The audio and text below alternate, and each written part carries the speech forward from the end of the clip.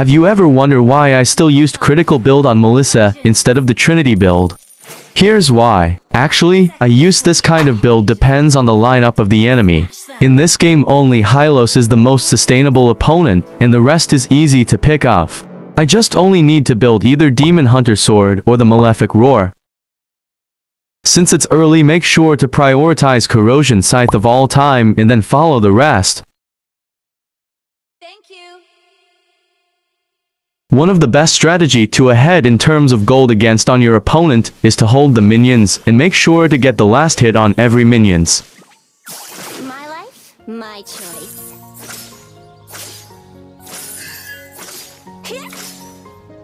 First blood. Great play. If only she could be with me now. Your turn, though. Initiate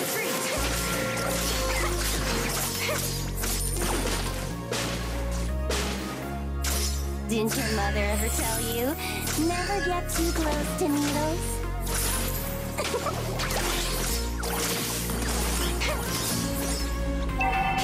Need to stitch up their mouths right away. Since we successfully pick off Layla, it's my chance to farm more gold.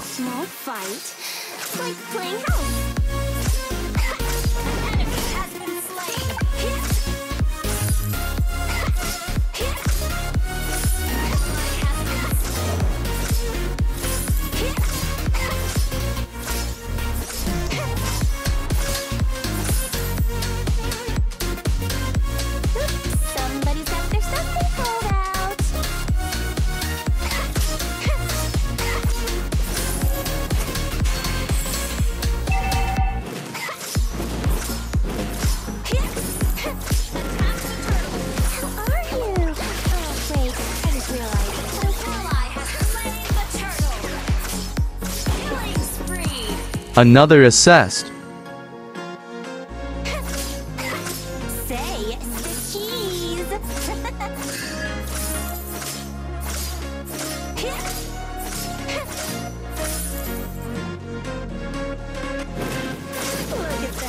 Since Hylos is coming on his way here on top lane let's make sure back off before they gank me.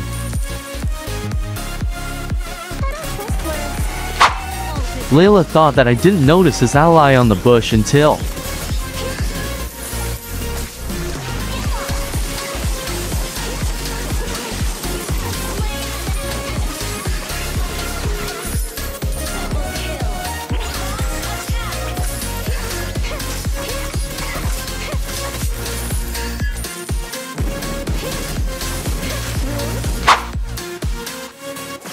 Once you want to gank using Melissa make sure to throw her second skill first and follow first skill and ultimate, if necessary.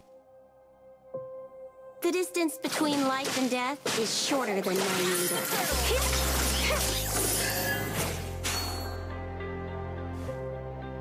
By the way guys, after Corrosion Scythe follow the Windtalker for more attack speed plus movement speed and deal critical in every 3 seconds.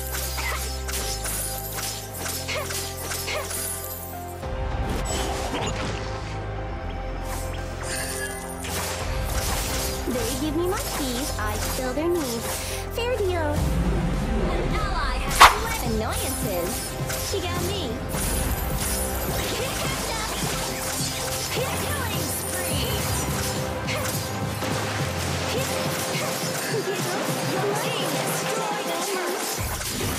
In this game Selena is my most annoying opponent, that's why I decided to build Rose Gold after the Demon Hunter sword.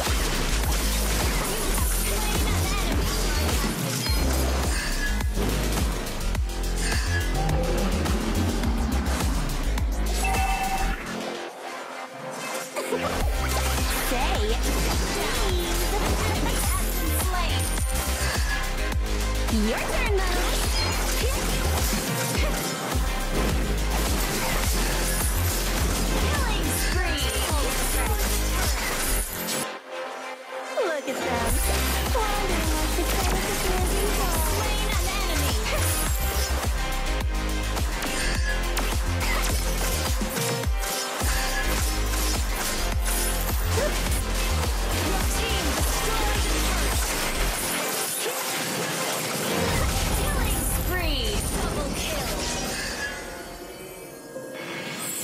Your turn, Muddles.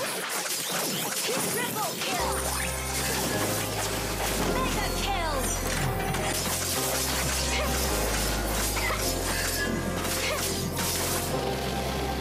An ally has slain Lord! Battle spell in cooldown. If regret had a flavor, they'd be the first one to taste.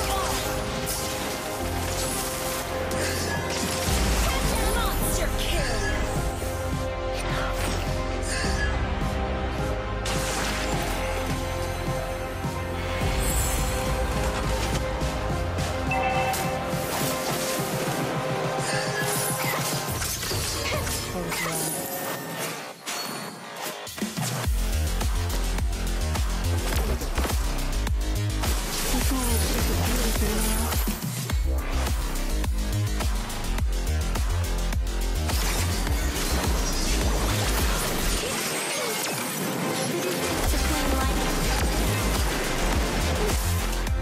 My life, my choice.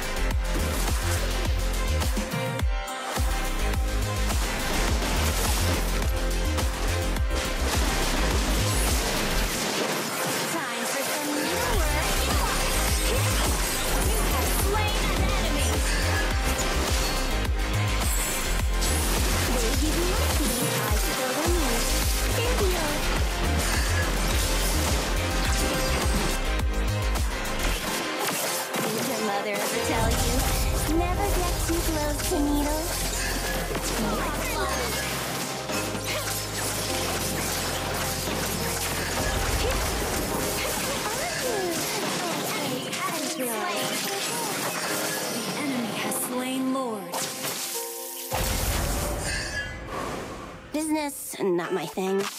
Annoyances, you got me.